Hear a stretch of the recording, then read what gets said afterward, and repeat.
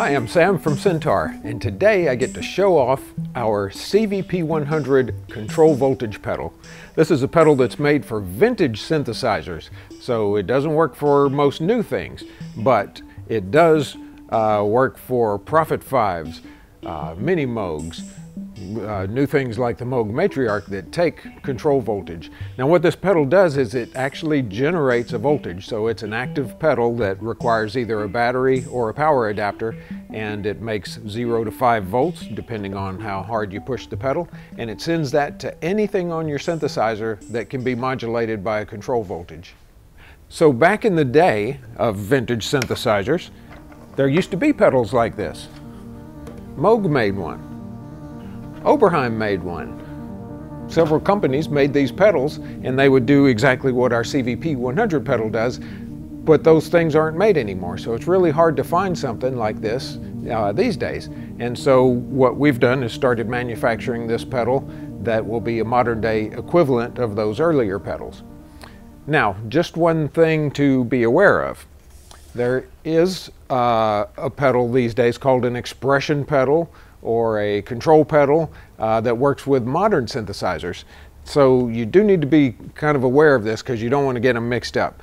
If you can see this closely, this pedal has a three conductor uh, connector, tip ring and sleeve.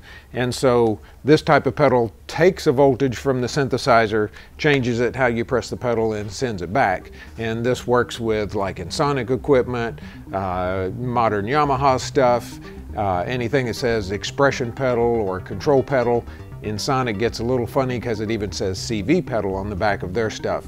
Uh, but you need to use the right kind of pedal. So modern stuff, three conductor uh, pedal like this, that's a passive pedal. Anything vintage, uh, Syntaur's CVP 100 pedal. So let's take a quick look with this matriarch and see what we can do with it. I have it patched in uh, on the back panel here and I have it controlling the filter cutoff. And so I have the filter cutoff set pretty low. And as I press the pedal, it will open up the filter and so I can control the, uh, the brightness of the filter without touching anything on the front panel.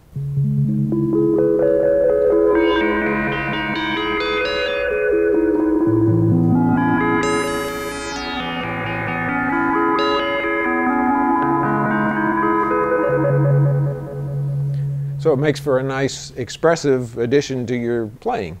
So on this vintage Prophet 5, I have the CVP 100 pedal plugged into the control voltage in filter jack. And so it's going to do the same thing as on the Matriarch. As I press the pedal down, it's going to open up the filter.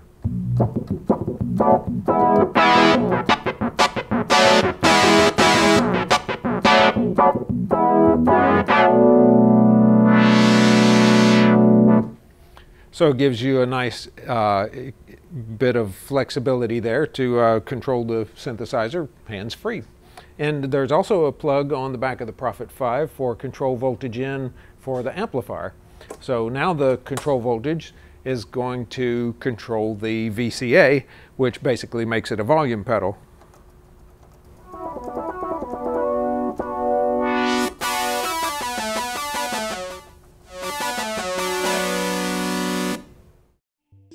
The Syntaur CVP 100 control voltage pedal. If you own a vintage synthesizer or a modern analog like this Moog Matriarch, you'll really enjoy having this to help control your sound.